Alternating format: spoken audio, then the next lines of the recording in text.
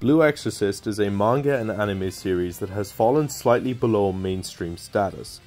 The general consensus of the wider audience is that the show was average. Not bad, not great, the type of show you can throw on in the background while you're doing something else. Some people think the animation was bad to begin with, others found the story boring and predictable with a couple of decent fight scenes splashed in to make it appealing. But the main issue people have with the show is the fact that the anime just finished season 1 on its own, ignoring the manga. Episode 17 and onwards is completely filler, and the manga picks up again in the second season. This makes things confusing for the viewer. Rin and Yukio appear to just start fighting out of nowhere, Rin starts fighting with his friends for no apparent reason, and so on. Basically what I'm saying without spoiling too much is shit don't really make any sense. It kind of feels like the characters you're supposed to get attached to and root for have tossed aside their morals and there doesn't seem to be any sort of reason why they would do that. To make matters worse, when season 2 comes around it just starts back again following the manga, making the final arc of season 1 filler.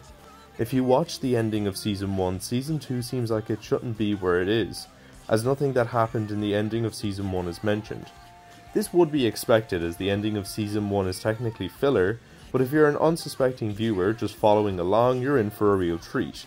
Trying to figure out what order to watch the show and also trying to pick up the story again.